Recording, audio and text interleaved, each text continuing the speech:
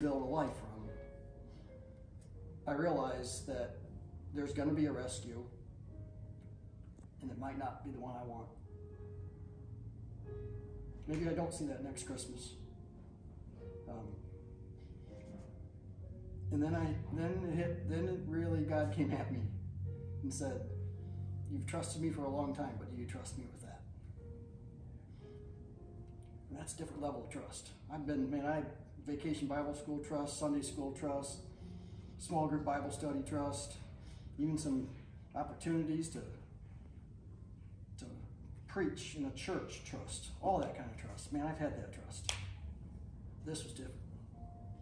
This was kind of like God saying, "This is like a level of trust. We either go here or maybe we part ways." that sounds harsh. God's not harsh. But he was that serious with me at that moment. I was driving to work. I remember it. Was a morning when I was still trying to fake like I was not a cancer patient. I was trying to fake like maybe this was all going to go away. And I was having this uh, conversation in the car with God. And I remember um, deciding in that moment that this is the moment I have to decide. Am I going to trust Him, even if the rescue is going to be something different than I, what I wanted? And as if He needed my permission, I granted it. and I said, okay, you're in my life with this. I'm going to trust you. And that's when I really realized what firm grip living meant to me out of that verse. I'll hold you steady, keep a firm grip on you. Firm grip, firm grip, doesn't mean I'm going to fix it all. That firm grip means I care it, I love you enough, I've got a plan, and it's going to be okay no matter what. So this book came out of that. That's where the title comes from. That verse is on the inside of the front flap because that's where it needs to be because it's everything that this book is based on and I wanted it. And, and as I lived into that, I, I, started, okay, if I can trust him with my life, even if that means he's going to end, how much more can I live with confidence in all areas of my life? And five months after I was diagnosed was the first glimpse we had. I spent five months not, not knowing. Five months after, first glimpse we had after some testing that the surgery worked far better than ever expected, far better than it typically ever does with this really, really rare type of cancer. Chemo's not an option, radiation's not an option. Either surgery works and you're gonna buy time, or it doesn't and you're gonna die. Five months into it, we found out, okay, my clock got set back. And so then is when I realized I'm not gonna die right now. At least not yet. So how do I wanna live for whatever time is left?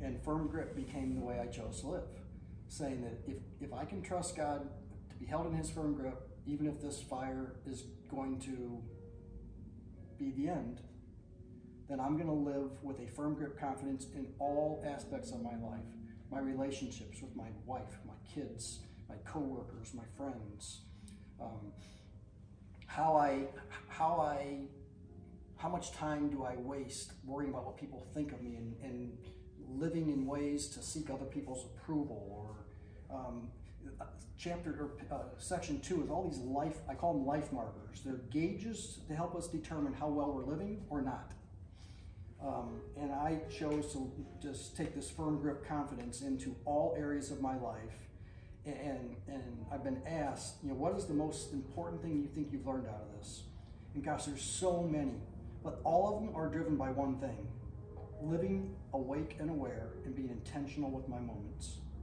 Every day when we get up, whether we realize it or not, we make a decision on what type of energy we're going to walk out the door with. And we're going to take that into every place we go, every room we walk into, every conversation we have. We are going to take that.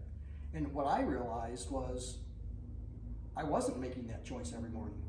I was walking out the door and letting whatever circumstances were going to be that day drive my attitude and my energy which means if the morning started out great, man, I was full of great energy.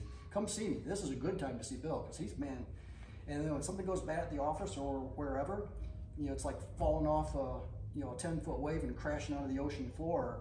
And now, and so I'm riding this roller coaster and, and when I realize, you know, I can wake up in the morning and decide today how I'm going to take that energy and not let the circumstances drive it. Now, that doesn't mean crappy things don't happen. Crappy things still happen during the day. This, this firm grip lifestyle I promote isn't going to solve any problems. You're still going to have them. Days are going to suck. Diagnoses are going to come. Parents are going to die. Spouses are going to walk out a door. Ask Julie West. Kids die days can suck.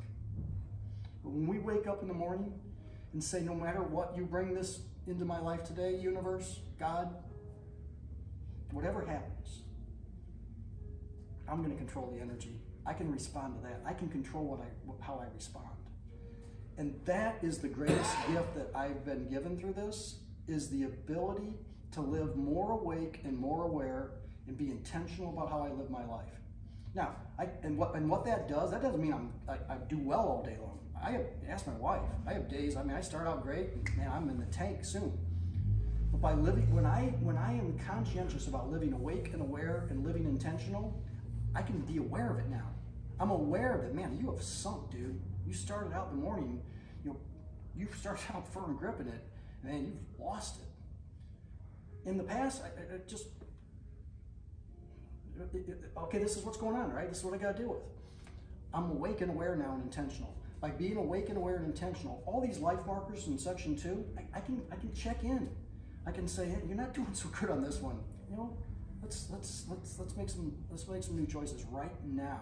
Right now at 2:30 in the afternoon, whatever time it may be. We're going to reset the clock for today. We're going to we're to reclaim that positive energy, um, and I want to bring that into my relationships.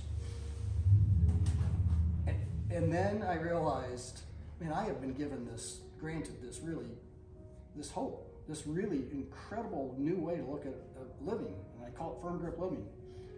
And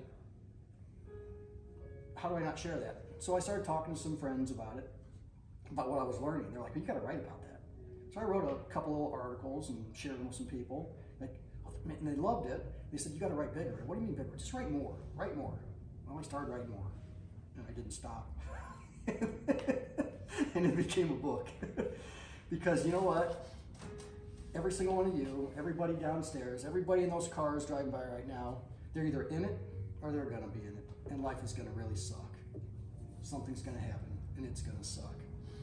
And and I don't offer this book to them to fix those problems. I offer this book to them and to anyone who's interested in reading it. Because in the middle of it, despite those struggles, there is a better way of being human, and we can choose it.